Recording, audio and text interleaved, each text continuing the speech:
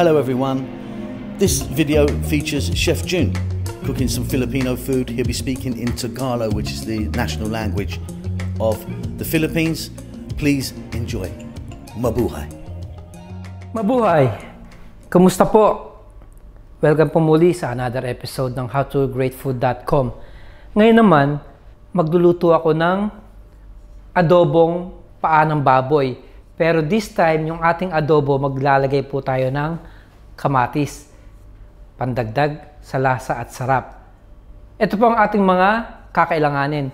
Yung akin pong uh, paa ng baboy, nilinis ko na siya. Gumamit po ako rito ng shaver, tapos tinanggal ko po yung mga buhok, tapos sinugasan ko na siya, kaya malinis na siya.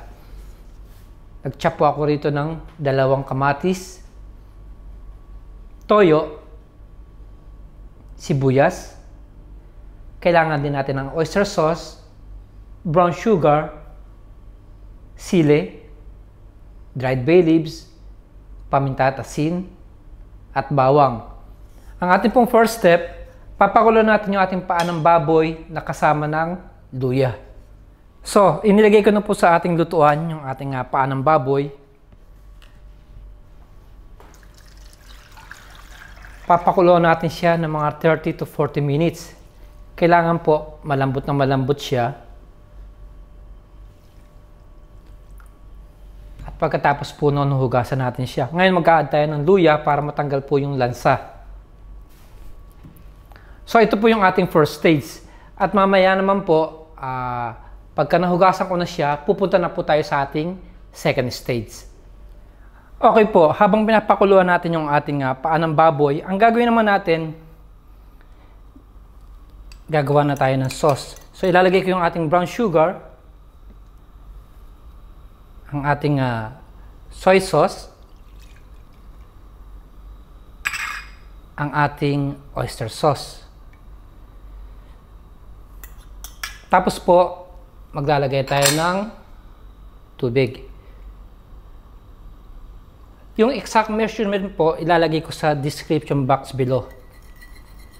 So, halingin ko lang siya at mamaya ito po yung magsisilbing sauce sa ating paa ng baboy.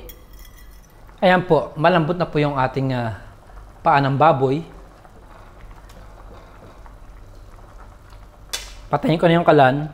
So, ang susunod natin gagawin, hugasan ko lang siya, tapos mag-start na po tayo mag-isa. Kanina, nababawasan po siya ng tubig, nagta-top up lang po ako. So, ngayon, napakalambot na siya. Halos 45 minutes ko po siyang pinakuluan.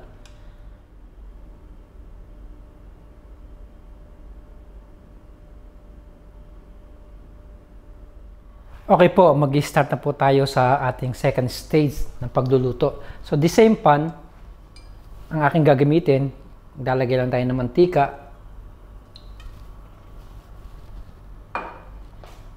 Pagkatapos po, hintayin lang natin siyang uminit, mag-start na po tayo mag-gisa. Ayan, mainit na po yung ating mantika. Unahin natin yung ating bawang.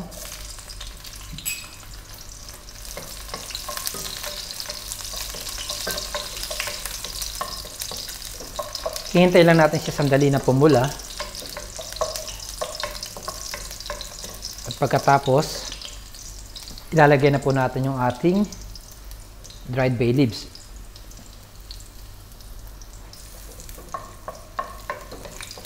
So, gisa-gisa lang.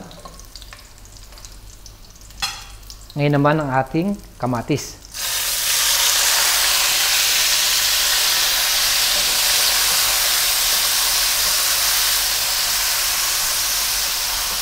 Gigisahin ko lang siya ng mga isang minuto. Kaya natin lumabas yung katas ng kamatis.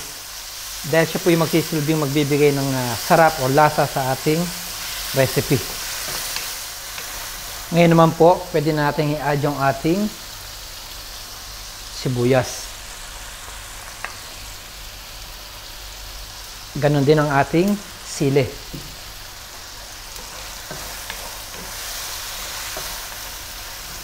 Again, gisayin lang natin yung ating sibuyas. Hihintayin lang natin siyang maging uh, translucent bago natin ilagay yung ating pinakuluan na paa ng baboy. Ayan, tapos na po tayong makapaggisa. Lalagyan na po natin yung ating pinalambot na paan ng baboy.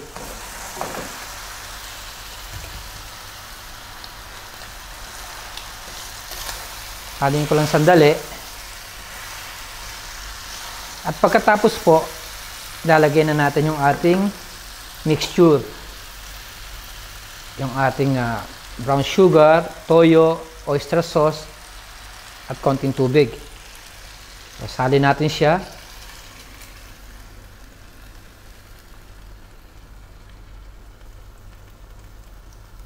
Maglalagay tayo ng paminta at asin.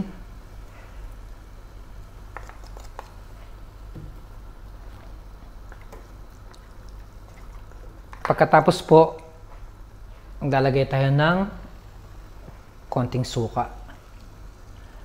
Ngayon, tatakpan ko siya. Again, papakulong ko lang siya ng mga 8 to 10 minutes. Tapos po, siyempre, pwede na po siyang iserve.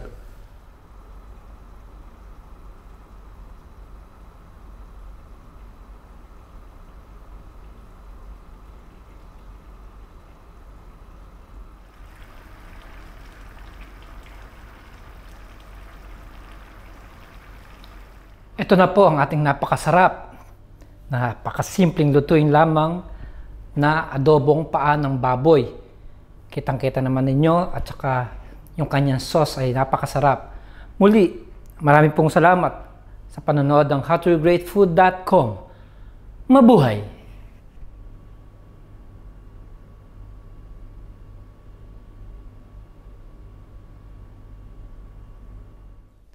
Mabuhay!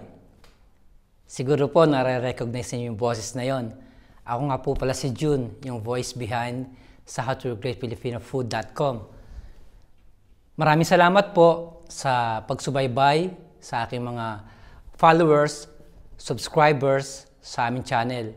Dati po, naalala ko pa, sabi ng boss ko, maka 1 million views lang kami, hahalikan niya raw ako. Pero ngayon, nasa 100 million views na po kami. Kaya napakasayo po namin ng aking boss dahil uh, na-reach namin yung 100 million views. Kaya nagpapasalamat po ako sa inyo, sa aming mga viewers, sa mga nagko-comments, good or bad comments, okay lang po yun, natural lang po yun. Kaya sana po, tuloy-tuloy po ang pagsubaybay ninyo sa aming channel, sa howtogreatfood.com, howtogreatfilipinofood.com. Napakatagal na panahon na namin ginagawa ito, I think mga 7 years na. Pero continuous lang, consistency lang, ika nga. Kaya na-reach namin itong 100 million views. Kaya papasalamat ako sa inyo. Sana walang bibitaw at mabuhay.